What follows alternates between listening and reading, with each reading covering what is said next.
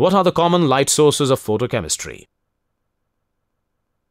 We know that photochemical reactions need a light source which emit light of specific wavelength, corresponding to electronic transitions taking place in the reactants. Basically, these electronic transitions in the reactants are produced due to absorption of infrared, visible, or ultraviolet light. In other words, a regular source of infrared, visible, or ultraviolet light is needed to initiate and carry out photochemical reactions. During the formative years of photochemistry, sun was the light source.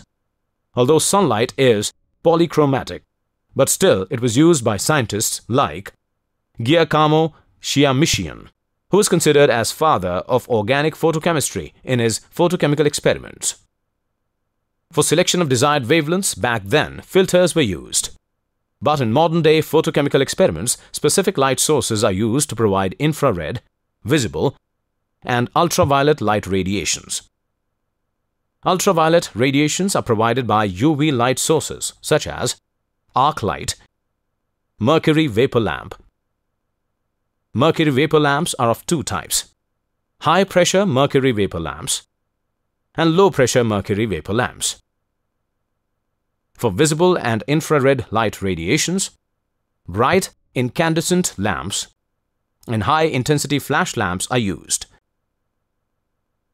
Also in cases where monochromatic light is needed, semiconductor light sources such as laser diodes, ultra-bright LEDs, and rayonet lamps can be used. Thus, some common light sources of photochemistry are sun, arc light, mercury vapor lamp, bright incandescent lamps, and high-intensity flash lamps.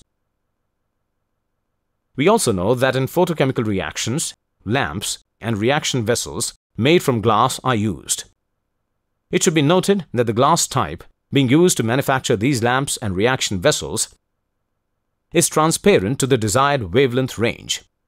For instance, if reaction vessel is constructed using Pyrex glass, then only wavelengths greater than 275 nanometer will be allowed to pass through it and will be able to reach the sample.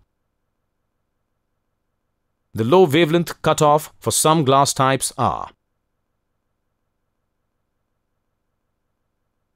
Related term is